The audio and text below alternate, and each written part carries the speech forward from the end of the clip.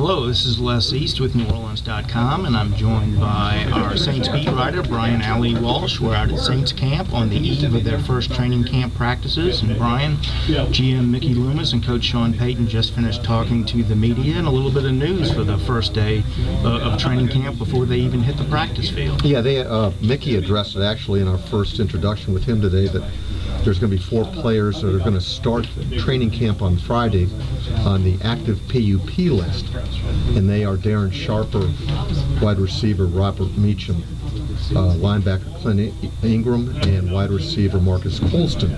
And uh, the surprise, what that active PUP means is that they are still going to count against the 80-man roster. They cannot participate in practice at this point but they can come off this list at any time during training camp.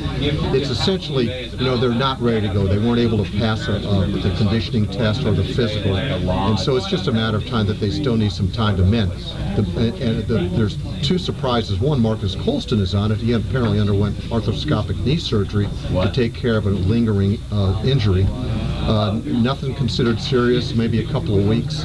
And then uh, defensive end Jimmy Wilkerson is is a full ready to go, and he underwent major reconstruction surgery at the end of last season.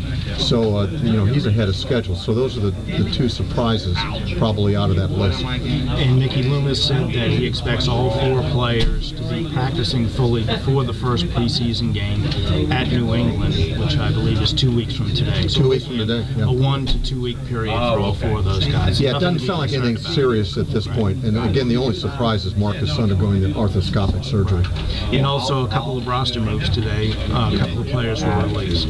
Yeah, uh, Jason McKie, Jason McKie, the fullback, and who was the other one? The other one was Earl Heyman. Okay, defensive, defensive lineman. lineman. No big surprises no. there either. And that's to, um, just to get down to fighting weight, so to speak. And again, uh, you know, Mickey brought us up to date with the negotiations with their first round pick, Patrick Robinson. You know, they they, they hope that uh, they could get this thing done by the end of the weekend.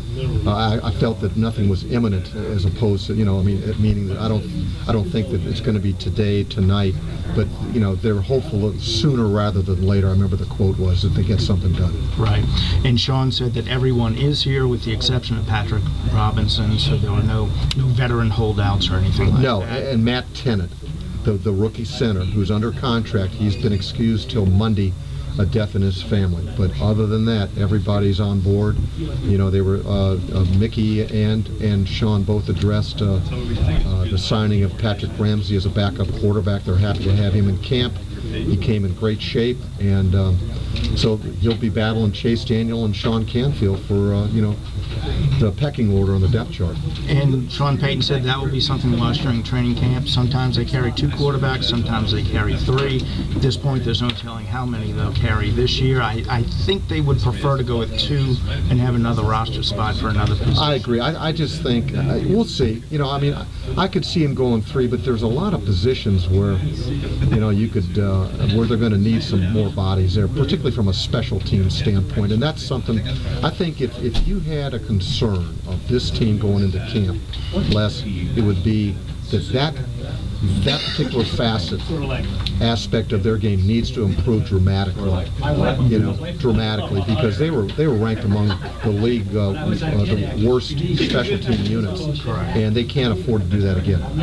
And uh, Sean Payton mentioned that uh, they had as many players participate 100% in the offseason program as they've ever had, which reduced the number of players who actually had to do the conditioning run this morning. So it looks like the offseason program went well. Uh, no major problems in the conditioning run. Full team meeting tonight. First practice tomorrow at 8:50. Second one tomorrow at 4:20. Both will be outdoors and open to the public. Weather, weather permitting. Weather you know, permitting. weather permitting. And also, uh, we found out about the black and gold practice. Correct. Scrimmage. It's just going to be a practice, and yeah, it's, it's, key to, to, make that known to the public and, and the Who Dat Nation is that. Uh, uh, it is a practice, and it, it'll be August the 7th I believe, at what, 250 to 420. 250 to 420. And I would say that, uh, you know, get ready to stand in line and get your seat because, uh, you know, they can only handle so many people. But that will be free of charge to the public. And again, it's 250 to 420 on August the 7th. And it'll be here on the outdoor practice field, weather, weather permitting, of course, yeah. And, you know, the, the exciting thing about this whole thing is that, you know, they open up the uh, exhibition season two weeks from tonight uh, in New England. So uh, it's just around the corner. And we'll have plenty more to talk about. Stay tuned to NewOrleans.com. We'll have uh, more information posted today, and we'll be doing video reports throughout training camp as well. So for Brian Allee-Walsh, Saints beat writer, I'm Les East. Keep checking out NewOrleans.com for the latest Saints news. Is that